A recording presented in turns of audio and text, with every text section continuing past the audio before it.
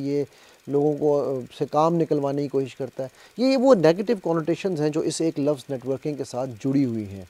Science ये कहती है, मैं साइंस की पहले बात करूँगा, क्योंकि हम में से बहुत सारे लोग साइंस को बड़ा अहम समझते हैं। साइंस ये कहती है कि जब आपने बुलाना हो तो आपका हाथ यूँ सीधा होना चाहिए, आपके जो तलियाँ हैं, ये आसमान की तरफ़ हो। ना हज़रत हिंद नबी आला की हदीस है जो मैं अक्सर कोट किया करता हूँ, कि अल्लाह के नबी वसल्लम को कहते हैं, हमने कभी किसी को ऐसे उंगली उठा के बुलाते हुए नहीं देखा। लेकिन जब मैंने सीरत सीरत नबी वसल्लम को पढ़ना शुरू किया तो मैं हैरान रह गया कि यार, अल्लाह के नबी वसल्लम तो नेटवर्किंग के, कि उस पीक पे थे, उस मिराज पे थे कि हमें इसका पता ही नहीं है। पहले हमें यह समझना भी ज़रूरी है कि सुनना है क्या?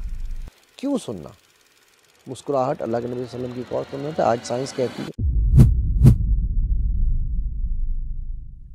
अस्सलाम वालेकुम वरहमतुल्लाहि मेरा नाम मोहम्मद अली माइंड इंजीनियर अली। आप सब इस नाम से इंशाल्लाह जानते हैं। मैं एनएलपी ट्रेनर हूँ बॉडी लैंग्वेज का मास्टर ट्रेनर हूँ, पाकिस्तान का पहला बॉडी लैंग्वेज मास्टर ट्रेनर था मैं।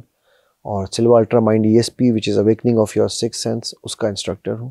बेसिकली माइंड साइंसेज के different fields life coaching career coaching hypnotherapy screen addiction इन सब एरियाज़ में काम करता हूँ। स्पोर्ट्स साइकोलॉजी में काम कर रहा हूँ।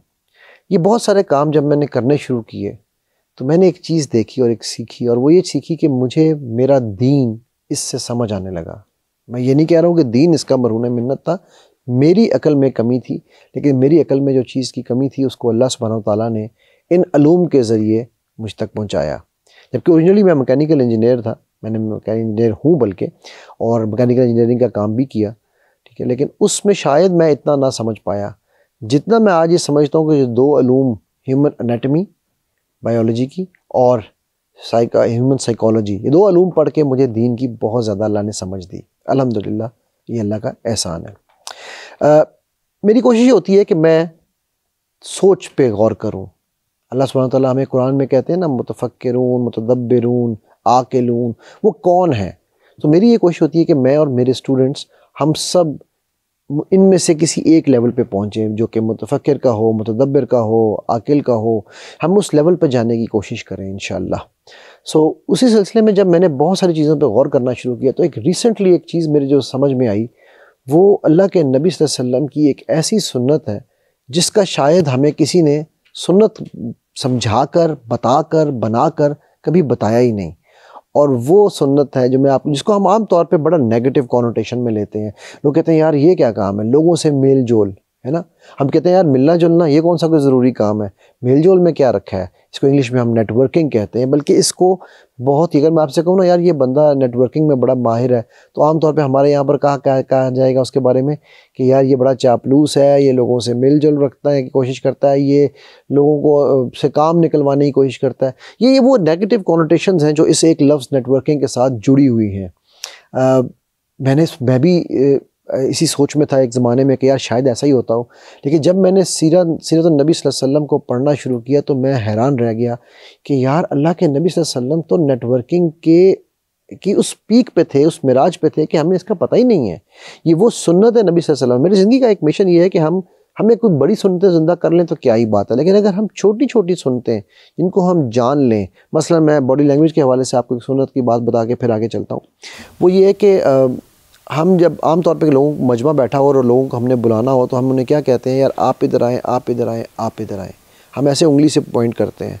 हमारी बॉडी लैंग्वेज की साइंस ये कहती है कि ये दिस इज़ सबलिमिनल थ्रेट ये आप असल में लाशौरी तौर पे उसको धमकी लगा रहे हैं कि तुम आओ तुम आओ या तुम आओ।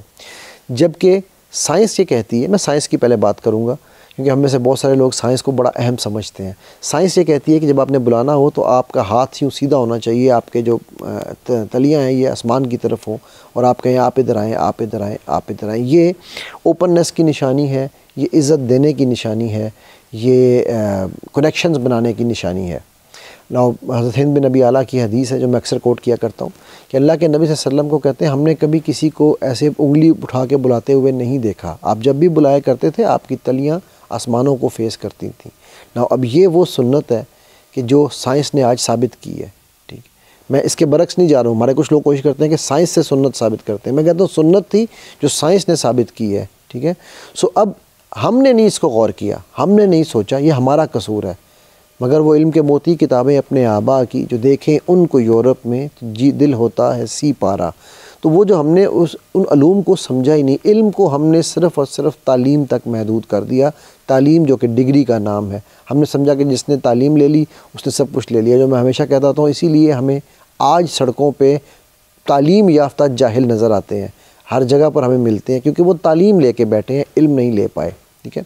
सो लेकिन जो यूरोप है वो आजकल इस पर या जो वेस्ट है वो इस पर आजकल गौर करता है इन चीज़ों पे। तो उन्होंने ये अलूम जब अखज़ किए और फिर जब इन, इन बहुत सारी चीज़ें इनसे सीखी गई हमारे अल्लाह के नबी वसल्लम की सुन्नत से ठीक है? तो उसमें एक जो बड़ी अहम चीज़ मैं जिसकी मैंने पहले भी ज़िक्र किया जाना चाह रहा हूँ वो है नेटवर्किंग नेटवर्किंग एक भुलाई गई सुन्नत है। हमें पता ही नहीं कि ये अल्लाह के नबी वसल्लम की सुन्नत है। तो मैं कहता हूँ इट्स अ फॉरगॉटन सुन्ना अच्छा इसके ऊपर जाने से पहले हमें यह समझना भी ज़रूरी है कि सुनना है क्या? क्यों सुनना हमने हमारे लिए क्या उसके फ़ायदे हैं? अगर हम छोटी छोटी सुनतों को भी ज़िंदा करते हैं, अल्लाह के नबी वसल्लम की कही हुई हर बात, उनका किया हुआ हर अमल, उनके क्या कहते हैं, कोई किया हुआ एक्शन, या कई दफ़ा उनकी खामोशी किसी एक्शन के ऊपर, ये तमाम चीज़ें, और मज़ीद भी होंगी, मैं आलिम नहीं हूँ, इसलिए मैं उल्मा के लिहाज से तफसील में नहीं जा रहा हूँ, लेकिन मैं जस्ट उर्फ़ आम में आपसे बात कर रहा हूँ, ठीक है? या उनका किसी एक चीज़ के बारे में ये अप्रूवल दे देना ये कह देना कि ठीक है ये एक्ट तुम्हारा ठीक था। जिस तरह वो आ, आ, कुछ साहबा की जमात ये जगह गई हुई थी तो वहाँ पर बादशाह बीमार था तो उन्होंने कहा यार इसका इलाज हमें पता चला कि आप लोगों के पास है। तो एक साहबी गए उन्होंने उनका उसके बादशाह का इलाज किया उन्होंने जवाब में उसको इनाम में बादशाह ने बकरियाँ दी। तो जब आप वसल्लम के पास वो साहबी आए तो जमात वापस आई तो उन्होंने बताया कि हमने ये किया और तो आप ने पूछा तुमने क्या पढ़ा? तो उन्होंने कहा मैंने अलहम शरीफ सूर फातिहा पढ़ी तो मुझे यकीन था कि अल्लाह के कलाम में जो है वो है। तो अब अल्लाह के नबी वसल्लम ने कहा अच्छा यार, मेरा हिस्सा कहाँ है जो तुम बकरियाँ लेकर आए तुम्हें मैंने ही सिखाई है राइट सो नाउ आप वसल्लम ने ये उस चीज़ की अप्रूवल दी कि हम ये काम कर सकते हैं, ठीक है? सो ये जिस तरह की चीज़ों की अप्रूवल्स हुई, ये सब मिल के सुन्नत है। और सुन्नत हमारे लिए क्यों ज़रूरी है? बिकॉज़ उसवा कामिल हैं। आप जो हैं, आप हमें चलता फिरता कुरान है। आयशा फरमाती हैं कि अल्लाह सुबहान तला कि वो चलता फिरता कुरान है। अल्लाह सुबहान तला फरमाते हैं कि वो, मेरे नबी की इतबा करो तो मेरी इतबा करोगे, ठीक है? सुरह निसा की गलबन ये आयत है, ठीक है? सो इसी तरह बेतहाशा चीज़ें सुन्नत के इम्पोर्टेंस और सुन्नत की वैल्यू के लिए हमें, हमारे कुरान में और अपना, सहाबा से, ताबईन से, तबा ताबईन से, हमारे बुज़ुर्गों से हमें मिलती हैं, ठीक है? जिसमें हमें पता चलता है कि सुन्नत हमारे लिए एक ऐसा मशल राह एक ऐसा रास्ता है। मतलब मैं एक मज़े की और बात बताता हूँ, बड़ी ज़बरदस्त सुन्नत। अल्लाह नबी वसल्लम कहते हैं कि कि, का तरीका ये कार ये था कि आप पेट में एक हिस्सा रख के खाया करो, ठीक है? आज साइंस ये कह रही है, कंप्लीट साबित कर चुकी है, ठीक है? मेरी एक गेस्टेंटोलॉजिस्ट से बात हो रही थी, वो कहते हैं, यार जो लोग ओवर ईटिंग कर जाते हैं ना, क्योंकि पता ही नहीं चलता आपको। आपको ये शायद पता होगा, जो चीज़ आपने अभी खाई है, तकरीबन पाँच से दस मिनट कम अज़ कम मिनिमम इतना टाइम लगता है आपके ब्रेन तक ये मैसेज पहुँचने के लिए कि आपका पेट फुल हो गया है।